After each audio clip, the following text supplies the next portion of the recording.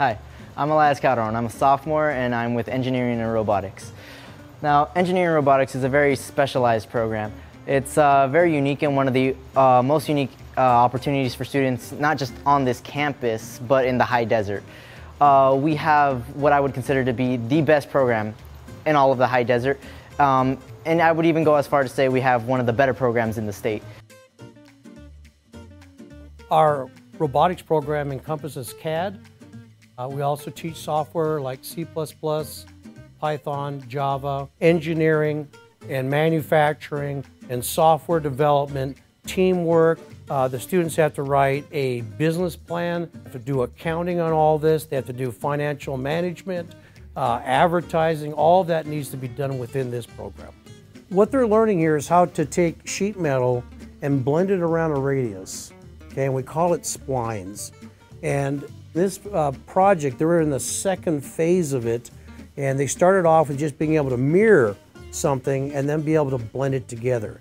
So what you're seeing in some of these uh, screens is that process going on and at different stages and at different levels uh, of, of completion. So if we move down through this, uh, where we pretty much have gotten uh, to a point where the project is almost done and we get to the point where we actually take the car and make it look like it's on a street. We do all the lighting, you know, do all the animation part of it. It's all done here. So that's pretty much a completed project. He's gone through the engineering process. He's learned how to do all of the skin, gone through the engineering uh, where we do the uh, uh, aerodynamics, okay? So we're going through all those uh, drag coefficients and stuff of that nature. You see that portion here, different colors represented by different stress levels and, and things of that nature there. We are very lucky in the sense that we are allowed to get sponsors that other uh, school programs are not allowed to.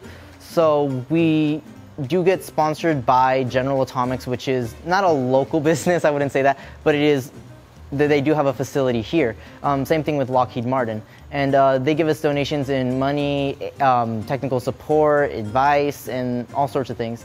Uh, we also work really closely with Exquadrum Engineering, and they are just, they are fantastic. Um, they are local, actually, and we just adore them. They, they send professionals. Um, they give us something that's, I personally think, is a lot more valuable than money.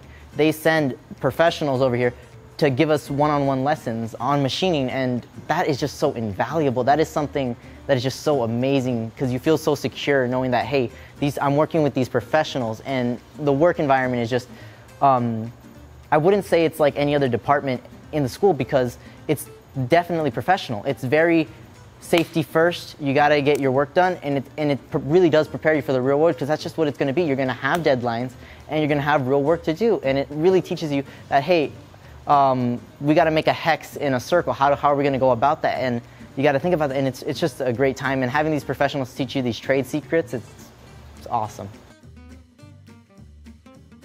Um, so this is last year's robot. This is uh, Influx. So four people were able to build this robot essentially, which is under standard conditions a job for uh, for a couple hundred students.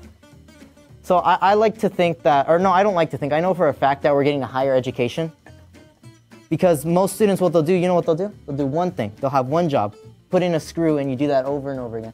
And they don't learn anything. But they're part of an engineering team, so they go out into the, into the engineering field thinking that they know what to do, but they haven't gotten any real learning. But because we're a team of four, we can do everything. Everyone can program, everyone can design, everyone knows how to CAD, everyone knows how to build. And you can actually get your CAD certificate at Hesperia High School. Um, we'll, we'll administer a test, you can pass that test, uh, you're guaranteed a CAD certificate, and that says that, hey, I know how to use computer assisted design, you can hire me.